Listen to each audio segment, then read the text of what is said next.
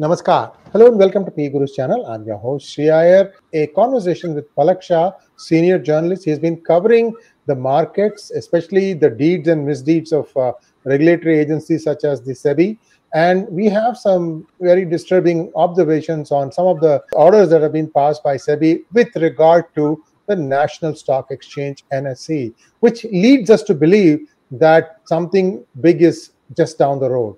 Whatever it is, let's first welcome our guest, Palak Shah. Palak, namaskar. Jai Sri Ram, how are you? Thank you, Sree. Namaskar, Jai Sri Ram. All well, all well. But uh, things are not well the way they are going with SEBI mishandling the NSE co-location case. So that's what we are here to discuss, I guess. Yeah. So you you put out a two-part series articles in Business Standard, Business World, sorry, and it's been a scathing criticism of the rulings that SEBI has come out with. Talk to us a little bit about SEBI's charter. SEBI's charter is to look out for the rights of the shareholders. Do you think, in your opinion, this particular order that has, I think they have already given the ruling, and who's going to stop it, who's going to reverse it, and how did things come to this? Thank you, Sree, for inviting me. And as uh, we have been talking on this topic for quite a few years, we first spoke on this on your channel when my book was released in November 2020. You know, the book is on this entire co-location scam and how all the culprits have gone scot free was the title of the book. So, you know, aptly put, I, I anticipated SEBI, uh, SEBI's moves in 2020 and wrote in my book how everybody is going or going to go scot free. So right from day one, when SEBI started its investigation, everything was, you know, nothing was right. They were doing most of the things wrong. So I'll tell you what has happened. NSE's trading systems were abused for years. So what does this current verdict of SEBI says, which came last week? In a nutshell, the verdict says that NSE's trading systems were abused for years, yet nobody colluded from the exchange. SEBI verdict lets down the faith of millions in stock markets by cherry picking of laws in blatant disregard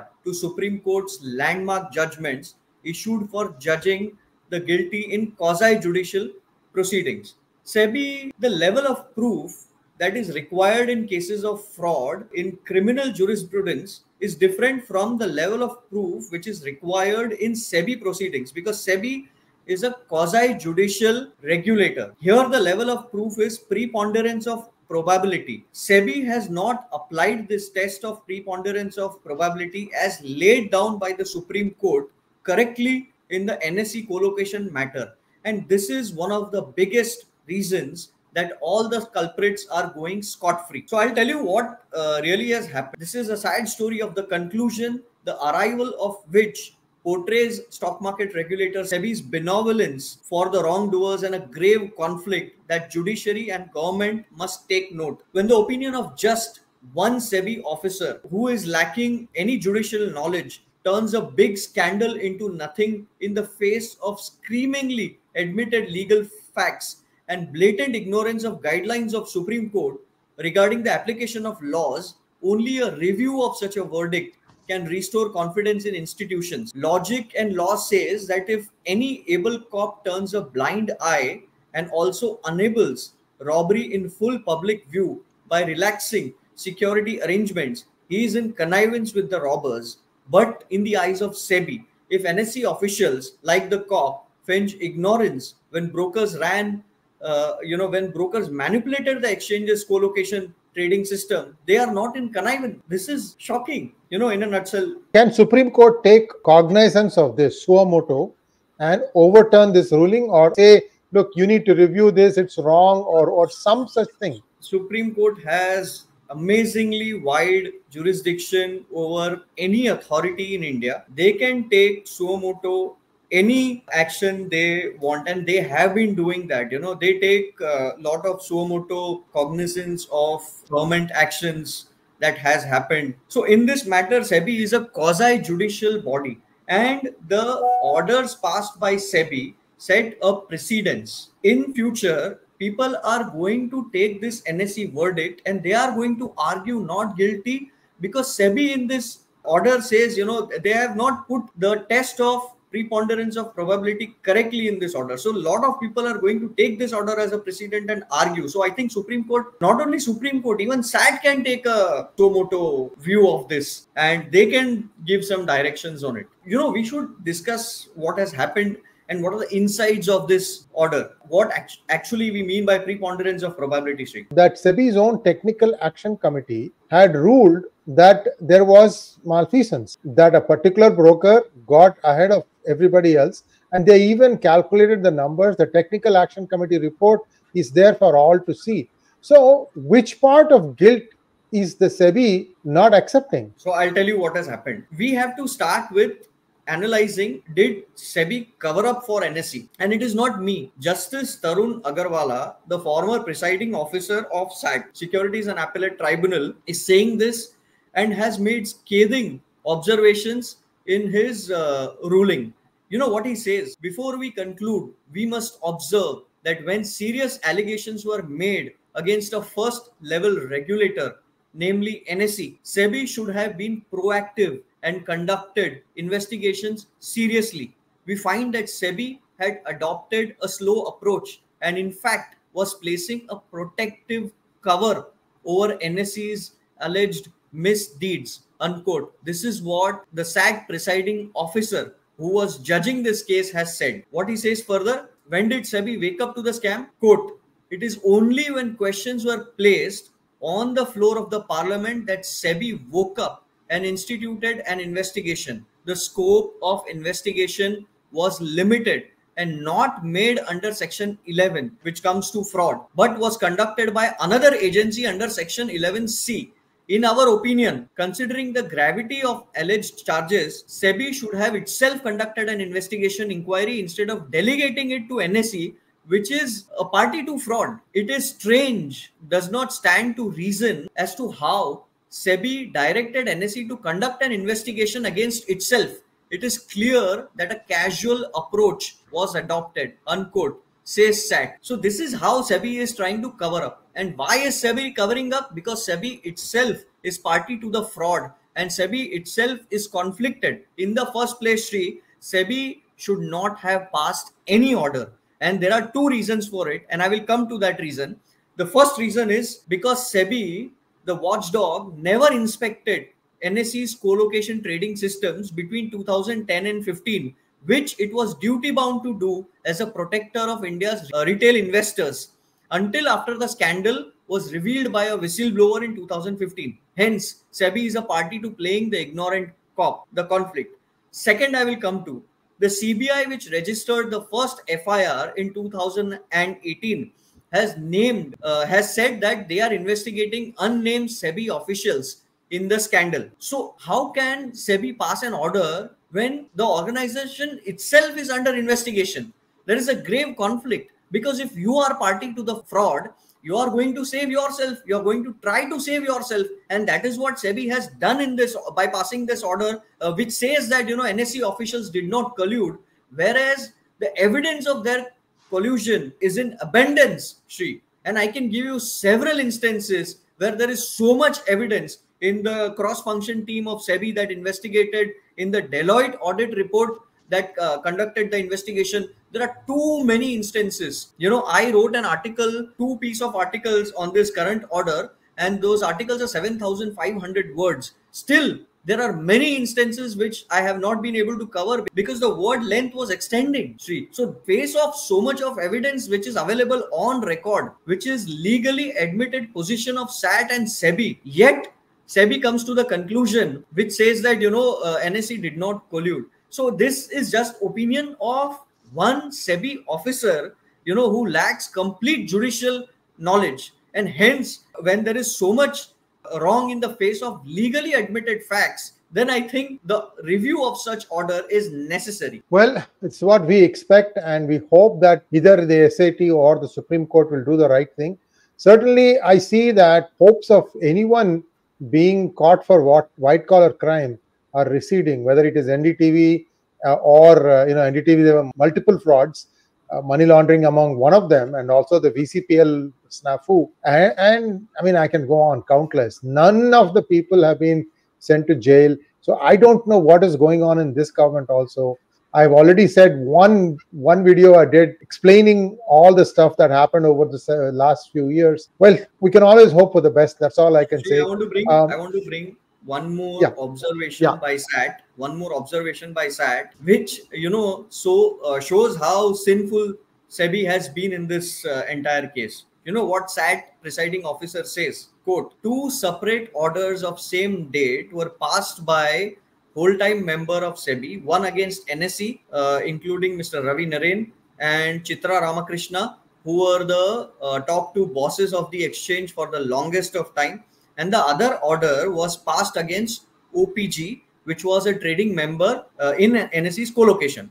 What does the judge say? We find, quote, we find that there are contradictions in the findings arrived on the same issue. For example, on the issue of early login, the WTM, in uh, the whole time member in the order against NSE held that early login by trading member OPG created an advantage. Uh, whole time member held that the trading member who logs in first would disseminate uh, the data first at the start of trading day and therefore had an advantage over the other. On the other hand, the whole time member in OPG matter held that early login by OPG, OPG did not give any unfair advantage. Now, in the same issue, you're taking two contradictory views. This anomaly, the judge further says that this anomaly is one such instance and there are more it is not worthwhile to cull out all the contradictions, but it is sufficient to state that the same officer who has passed the order on same date cannot make a different analysis on the same subject issue.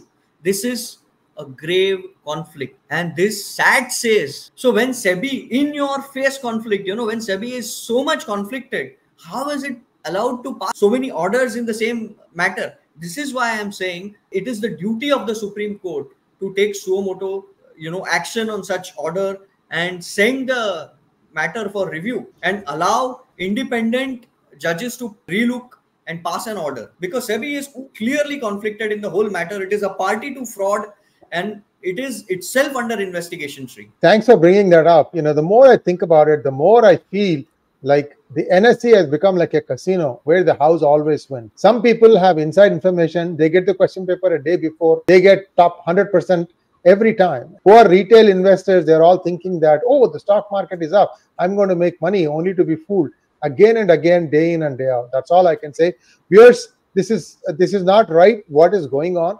Uh, we become the laughing stock in the world market. They say, oh, NSE, people will laugh. You and i i mean we can you know sometimes the government thinks what does the average person in uh, jalpaiguri care, care about what happened to the nsa eh, kuch nahi chalega. These people don't vote on this.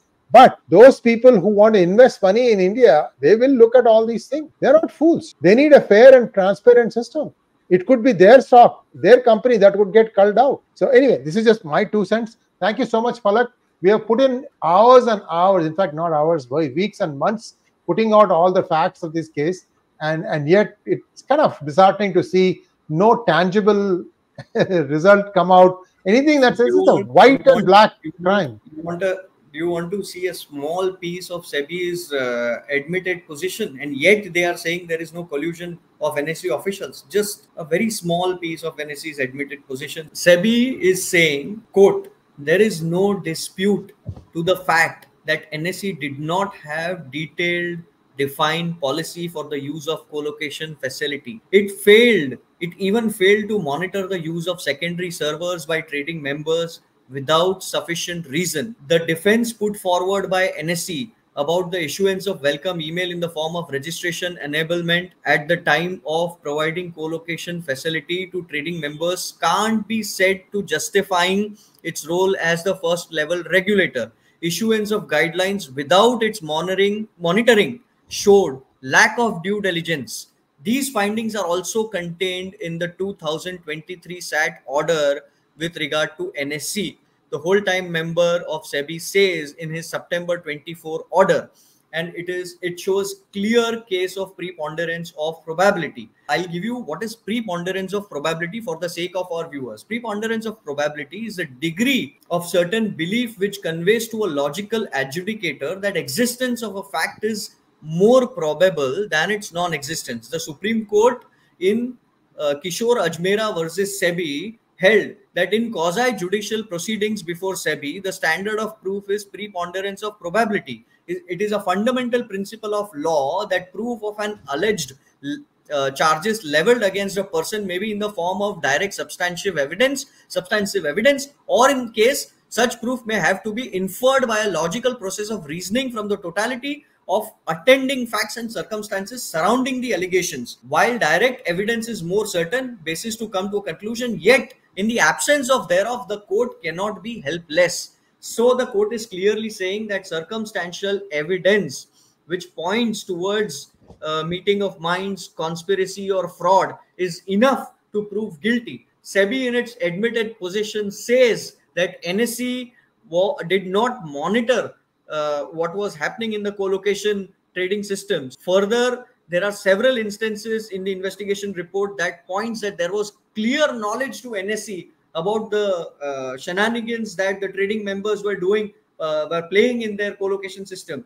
So here are two things. Admitted legal position, which shows clear probability of meeting of minds and there is evidence. And the supreme court says direct evidence is not required in quasi judicial proceedings. You can convict people. You can bring charges and punish them by just preponderance of probability. That is that is circumstantial evidence both these are there and yet sebi is taking a view saying that you know uh, we don't find any evidence. So this is the contradiction, and this is going to set a extremely, extremely bad precedent for SEBI in future, and hence this order needs to be reviewed. Sree. And the scandal here, apart from co-location, is legal. The scandal here is about the way SEBI has twisted this entire scandal into saying nothing happened it is like the crime happened, but nobody did it. That's what Thank you so much. And, and Shruti thank you so much for your well wishes. The takeaway here is India boasts a lot of things, like we have the largest number of startups. You know, how do the startups cash out? By doing IPO. But for doing IPO, you got to have proper price discovery. Proper price discovery means what is the stock really worth? If you do shenanigans like this, and then afterwards you go scot free. I mean, I tell you one joke, huh? day trading, one of the heaviest day traded stock is HDFC Bank. Bank में क्या every day to day बदलता है यार कुछ बदलता नहीं है then why do people go gaga and go and do day trading on HDFC Bank? It is stupid. India's stock market is very shallow and the only way it will become broader if it has a fair and free platform. I don't see this thing. I don't know if somebody sees it. Please, by way of comments, tell me that I am wrong and I am very happy to be wrong, but I need to know proof that it is fair. And this is very, very sad, guys, because you know we, we got nothing in return.